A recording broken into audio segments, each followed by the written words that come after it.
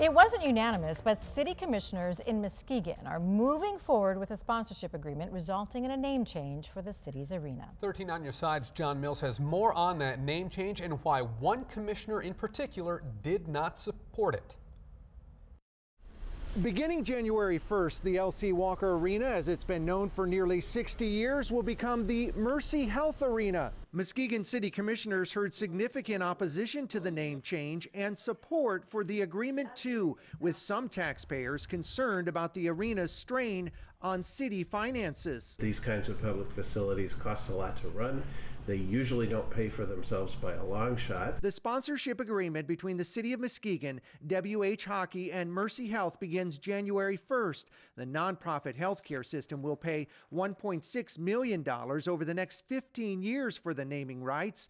80% of the money will go to the city, 20% to WH Hockey, owners of the Muskegon Lumberjacks. An earlier version of the agreement gave team owners a larger share of the money and commissions too. The final version passed in a 4 to 1 vote. The input from the community definitely made an impact on uh, the negotiation um, and changes with the language in the contract. Muskegon City Commissioner Willie German Jr. was the lone no vote, concerned, like some residents, the city could be in a vulnerable legal position if the Christian cross in Mercy Health's logo is displayed on a public building. There were some concerns. Uh, and risk factors, uh, possible lawsuit. The agreement calls for the city and Mercy Health to split the cost of a new display inside the arena to honor L.C. Walker and his gift of the arena to the city in 1960. Mr. Walker has um, been a huge asset yeah. to the uh, community, uh, city of Muskegon, and um,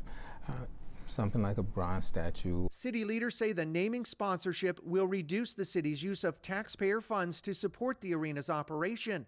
Mercy Health said in a statement, quote, Mercy Health is proud to support the arena and help ensure that this community asset is here for generations to come. The agreement requires all of the external Mercy Health Arena signs to be in place by March of next year. In Muskegon, John Mills, 13 on your side.